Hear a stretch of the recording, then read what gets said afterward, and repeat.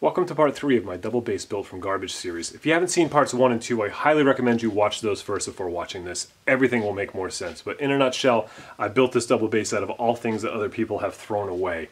In parts 1 and 2, I went through the process of creating molds and forming it and shaping it and designing it. Now parts 3, I've got pretty much all of that stuff done and it's time to actually stick this thing together and make it play.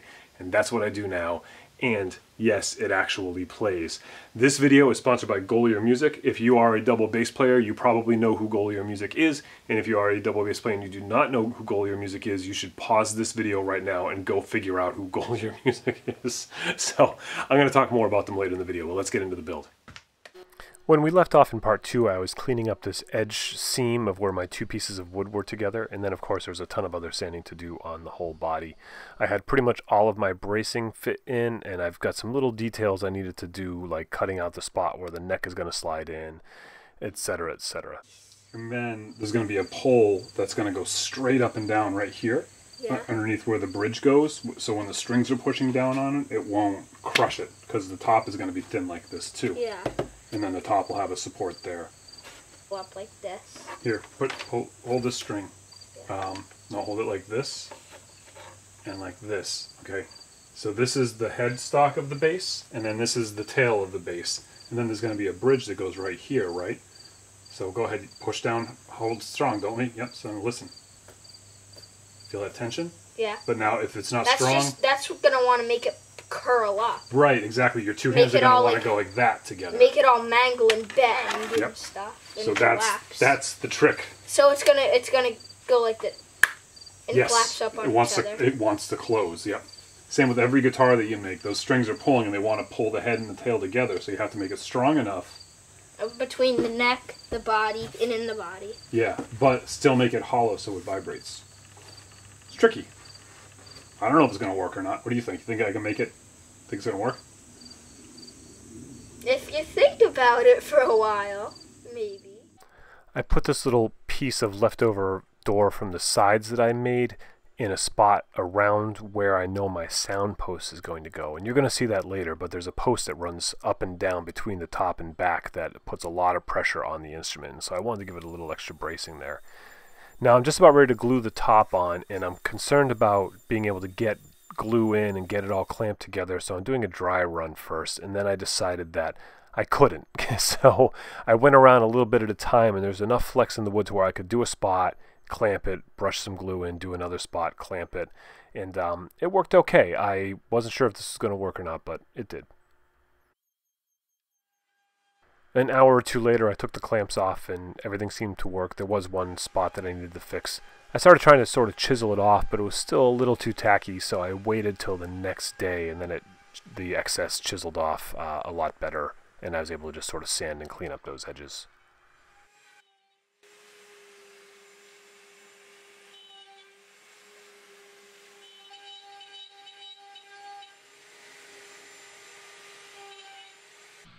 I also cut some thin strips of my laser cut kerfing to make a band, an edge band around the instrument. Um, this was a plan from the beginning. Uh, it's not common, but there's really not much common about what I'm doing, I guess. I thought that would improve the look a little bit and cover up my, my ugly seams.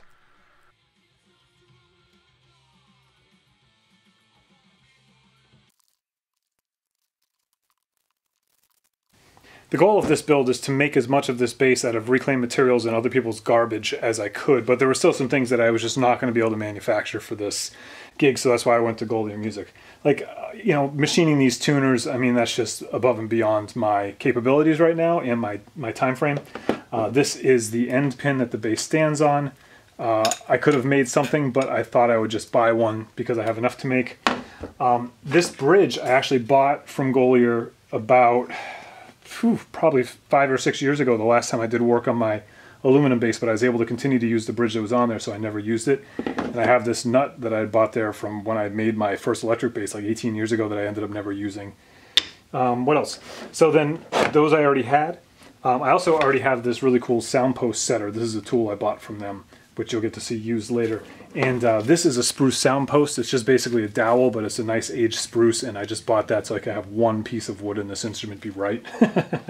I was gonna make this bridge, and then I decided since I had this one already on hand, I would just use it. And I wanted to make my own tailpiece. I happen to have this cruddy one on hand that I've already gone and, and CNC'd my own version. If you don't know this about me, um, I take endorsements very seriously on my YouTube channel. I only endorse companies and products that like I personally work with, use, and believe in. Not those companies that we guiltily use, but the ones that I really believe in.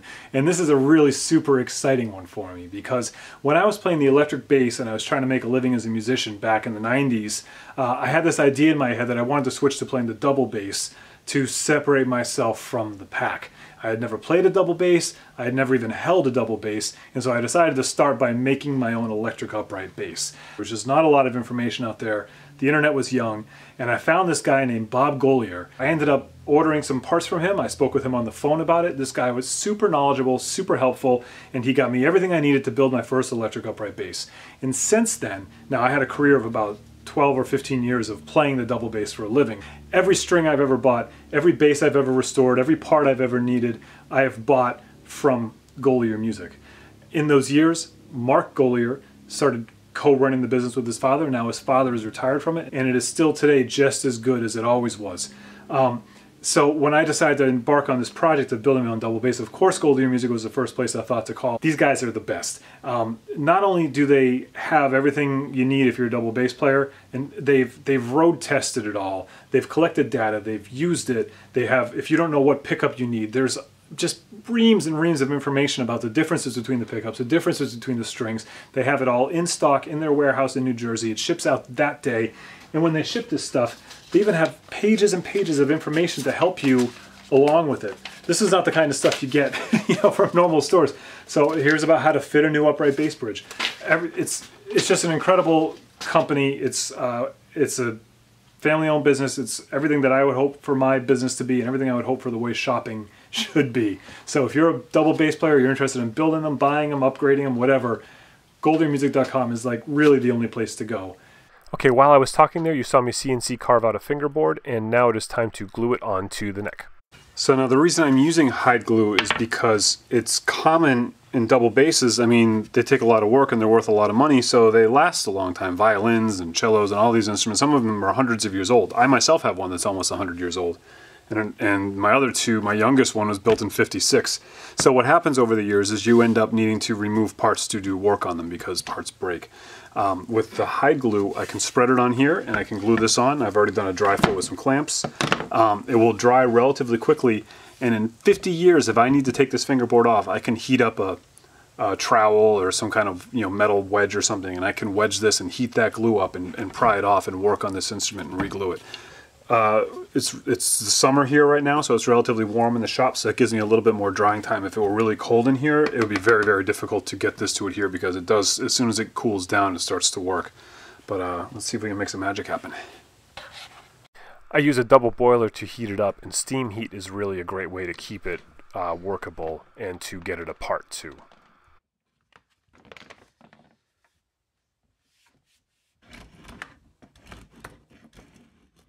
Now that the fingerboard and neck are joined, I can do my final fitting and sanding. And I also wanted to put a coat of finish on the neck, but not the fingerboard. So I taped the fingerboard off and I use this uh, Total Boat Halcyon. Uh, it's an amber tinted water-based varnish and it is like my new favorite varnish. It goes on well with a brush or a sprayer or whatever.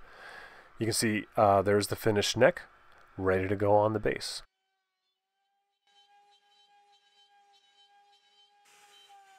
With the neck dry fitted, I can trim out some ugly spots, and then I also wanted to start roughing in my bass bridge. I want the feet of it to fit the contour of the top, and the easiest way to do that is use the contour of the top as a sanding block.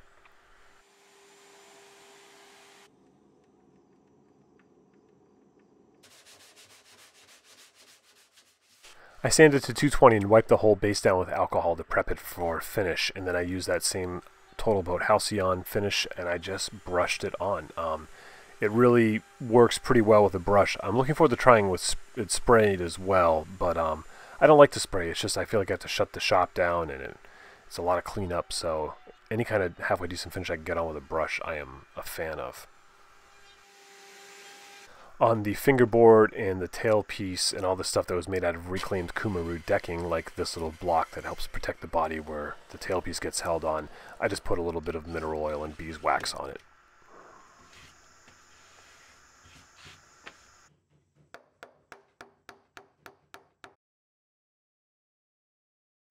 A lot of modern basses use this sort of aircraft grade cable to tie the tailpiece onto the end pin. I found some that had this cool green lining on it, so I thought that was a nice little pop of color.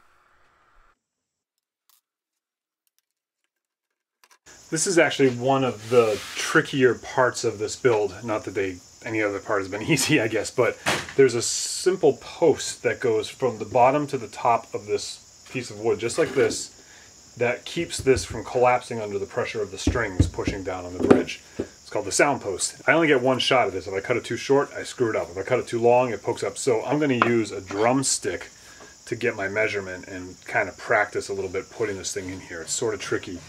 So I glued a plate into the top of this of hollow core door and then there's also a piece of bracing here so the depth isn't just the same as the exterior depth. Plus we have an arch, everything gets weird.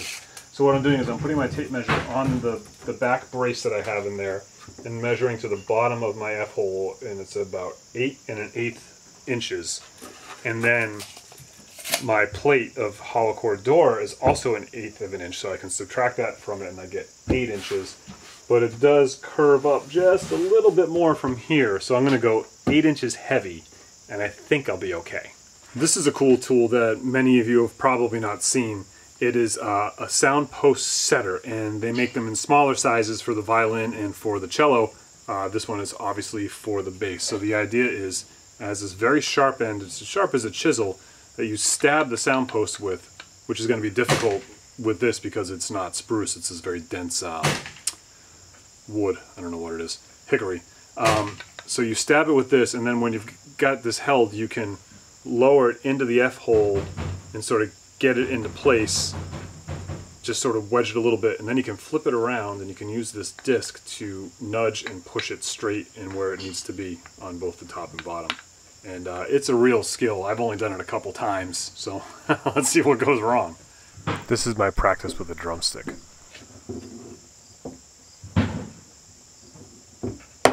Damn it. Fell. The rest ice pick saves the day again. A couple more practices and I felt like I was ready to do it for real. I'm going to start putting strings on it now even before I have the sound post in because I want to start slowly getting it under tension and then put the sound post in after there's just a little bit of tension on the top. My bridge is a mile high and my nut's not carved in so the strings are not going to be anywhere near playable but it's going to start putting pressure in all the places the pressure is going to be and I can make sure I measure it all up and get stuff in the right spot. Mark sent me this uh, string winder along with my stuff, and uh, it helps a little bit. It took some getting used to. Now, I learned that that Duresta Ice Pick worked really well, and so I used that as one half of my soundpost setter, and that way I was able to two-hand it, which worked way better than sort of wedging it in with just the one tool and then having to flip it over. So I felt like I had a lot more control this way, and it went in really pretty easily like that. I've been playing this for a few days now on this setup, and uh, I know I could do better. I think I need to reset the sound post, uh, push it a little bit closer to the bridge. Um, it's all a learning experience for me. Mark also sent me this amazing little tool for just helping to lay out your bridge and your nut. Um, oh my god, it made life so much easier for setting up string spacing and, and making cuts. So you can see I have to bring the bridge down. Um, I started just very roughly setting it up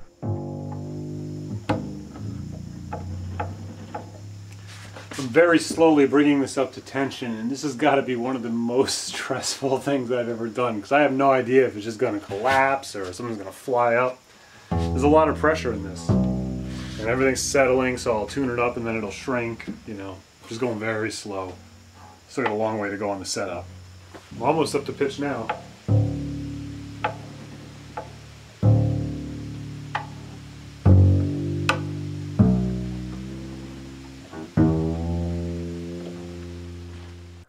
My bridge is still way too high, so I'm going to have to cut it a lot lower than bridges usually are.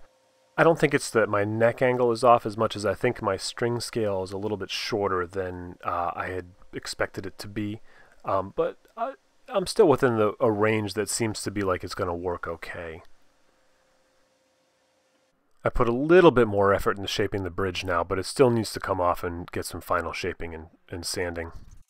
I wanted to get the, the bass up under tension for a few days and sort of experiment with it before I got too carried away with the setup. I carved the nut in a little bit too, but that still needs a little bit of work. Quick little intermission. If you like this sort of thing, I'd recommend you go check out my channel some more. You can see this is a double bass that I made out of a snow ski. This is a, a, bass guitar I made out of a water ski. Here's a guitar I made out of aluminum. There's my, my skateboard slide guitar. What else we got over here? We got, oh, this is my, um, my detachable guitar that comes apart and makes other instruments. That's made out of a hollow. I got a ton of videos about making instruments out of garbage all over this channel. And uh, these are just the ones that are still hanging around the shop. So go check out my other videos. You might find something you like. I'm to try and take it off the bench and pluck it for the first time. I think it's almost in tune. I have my tuner on it. I have my action set up pretty good. Um, so yeah, I'm just going to do it. I'm not going to stand here and procrastinate.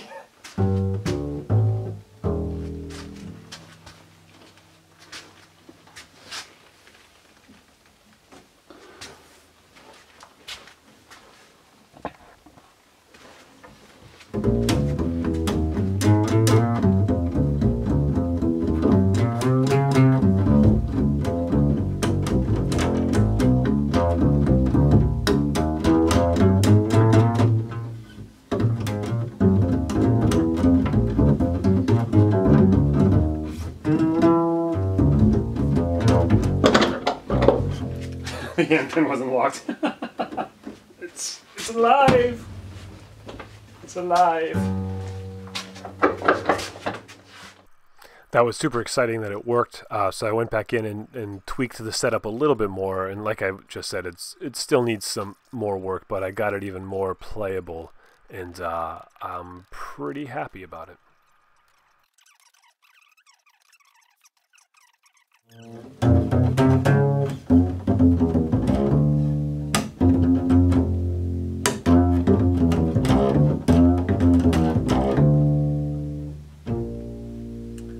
Course it works. hey, I played this bass a little bit in these videos to show that it works, but if you really want to hear it, go Czech out my other YouTube channel, New Perspectives Music. On that channel, I'm doing a shootout where I'm playing this bass, my aluminum bass, a 1956 Kay plywood bass, and my 1920s fully carved check upright bass under the same microphone in the same situation so we can kind of really give a listen to them and see if garbage can hang with those other instruments. So go check that out. Right now I'm just playing through the camera mic, you know.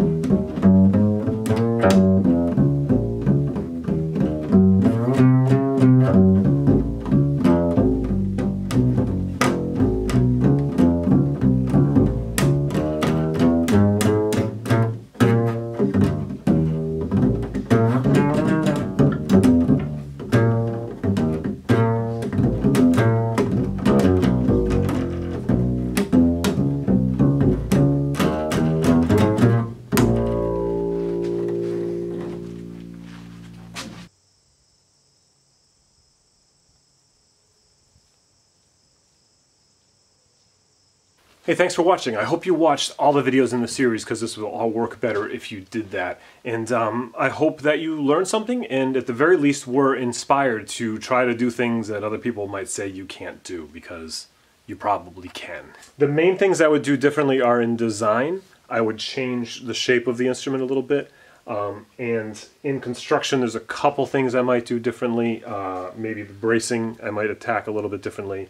And um, probably just be better at everything that I did in this one because with experience comes quality.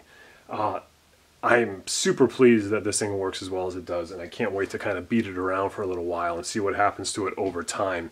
Thank you again very much for watching, and I want to thank my sponsors. Uh, this video was sponsored by Gollihur Music. Go there right now. Uh, it's, it's it's not even about the stuff that's available and the prices. It's about the knowledge that's there.